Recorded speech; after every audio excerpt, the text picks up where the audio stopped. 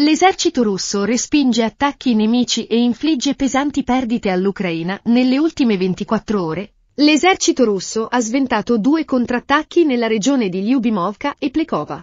I tentativi di avanzata nemica sono stati respinti. Secondo quanto riportato dal Ministero della Difesa russo, in totale, le forze russe hanno bloccato cinque tentativi di sfondamento del confine da parte delle unità ucraine nella direzione di un nuovo percorso.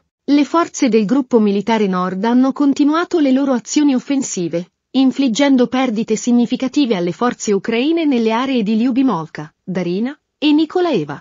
Negli scontri nella direzione di Kursk, le forze ucraine hanno subito la perdita di oltre 350 soldati in un solo giorno. Dall'inizio dei combattimenti, Kiev ha registrato più di 1900 militari persi. Tra i danni subiti, sono stati distrutti otto veicoli blindati, tra cui veicoli da combattimento della fanteria, mezzi corazzati da trasporto e sei veicoli da combattimento. Inoltre, sono stati colpiti quattro cannoni d'artiglieria e un sistema di difesa aerea Tunguska, insieme a una stazione radar di produzione israeliana, un veicolo di recupero corazzato M88 degli Stati Uniti e 12 automobili.